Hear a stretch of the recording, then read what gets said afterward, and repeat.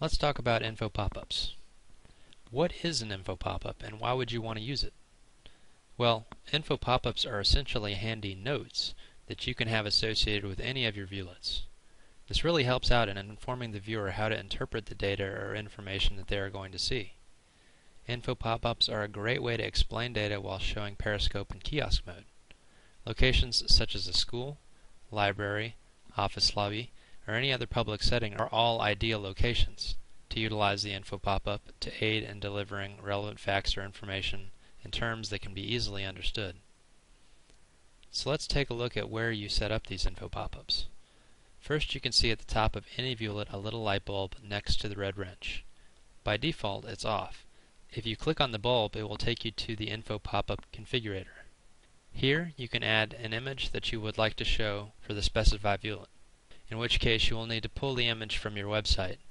You can also set the dimensions of the graphic here and preview it to make sure it looks good to you. If you have kiosk enabled set to true, the pop-up will automatically show while Periscope is cycling through kiosk mode. You can also click on the HTML radio button and insert a text-based info pop-up from this window.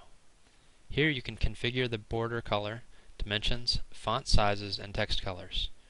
Then you just enter the information you'd like to say about the viewlet, preview it to make sure it looks good to you, and save. But let's instead go back to the image button and add a custom info pop-up URL. Remember, we just need to point it to where it needs to look for the online graphic you've previously saved. Let's adjust the height and width for this particular image and click Save. Once it's saved, we can see that our viewlet's light bulb is now lit. This indicates that there is an active info pop-up for this viewlet. If you click on it, you can see how it displays on the dashboard. Clicking anywhere on the image will close it.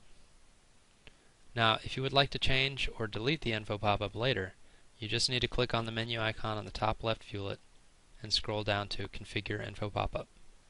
Alternatively, you could also initially set up the info pop-up through this menu as well. Info pop-ups are a simple way to provide a good explanation preceding viewlets, especially when used in conjunction with a kiosk dashboard. Thanks for watching.